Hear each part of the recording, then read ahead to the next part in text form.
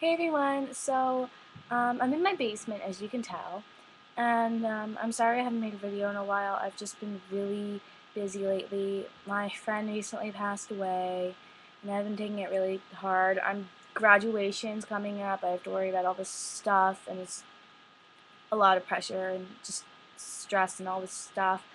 I just got my schedule today from my high school.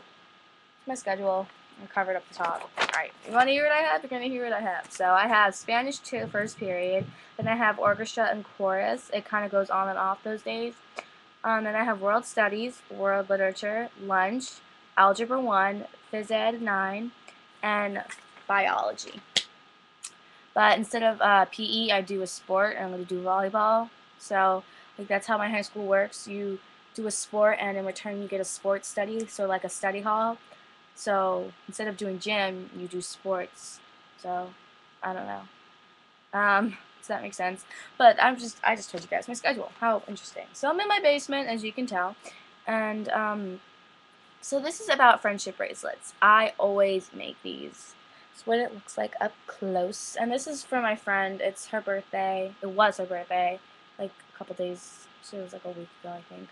But her party was on Saturday, and I gave her her gift and then I made her a bracelet and I gave it to her today and now I'm giving this to her probably tomorrow. I'm only this far done, but it actually doesn't take me that long. This only took me about an hour or two because there's so many.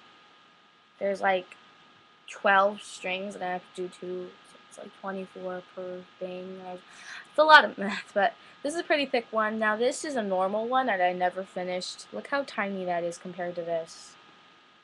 Like, ready? It's like not even less than half of this. That's like the size. It's just like a regular tiny one. These are the ones that most people usually make. So these are really simple to make. Um, I know you can get the yarn at Michael's. That's where I got mine. I got this really big pack. Um, oops.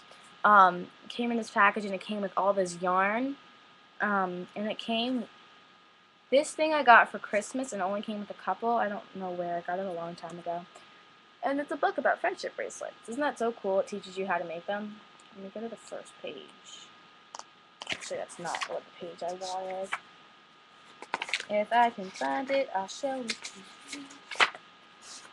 Alright, so these are all the designs it shows you how to make. So, braided with beads, twister, uh, the simple knot one, that one, this one, this one, this one, that one, and that one. So it teaches you how to make it. It's really cool. I don't know where I got this, but yeah. Um, so yeah, I always make those. Some other ones that I do, um, I just do this, oof, this basic knot one. I always put these on my ankle. Like I have one on my ankle right now because they're so, they're so plain and they're just so tiny and they're just perfect. I always do pretty colors, like this one's pink and yellow and I have one on my ankle that's teal and yellow. I guess I don't ever use yellow, and yellow, I guess, is pretty. I don't know, they're just really cool. Okay, so, um, this is another one that I made. I really like this one. It's really pretty, so it's got like an arrow. This one is like one of my favorites. And then this is just one that everybody basically makes. It's a Chinese staircase. This is just my um, town colors. So I wanted something cute, but just not like kabam. So, yeah. Um, another thing that I like doing are pinwheels. Uh, I had two packets of the really large boxes. Okay, I had two large boxes of yarn, and they each came with four pinwheels. That's what these are called. I started one. So, they're really cool. They have different designs. Like this one has hearts. That's what it looks like. This one is the, uh, it looks like, comes out like with this pattern. You can make flower or diamond. And then they're, they're just the same, they're just repeating. They come out looking really cool. Like this is the pattern. It's thick though, it's like a cylinder. And then this is the diamond one. These are all from last summer. I wore these down to the beach and they got sand all over them.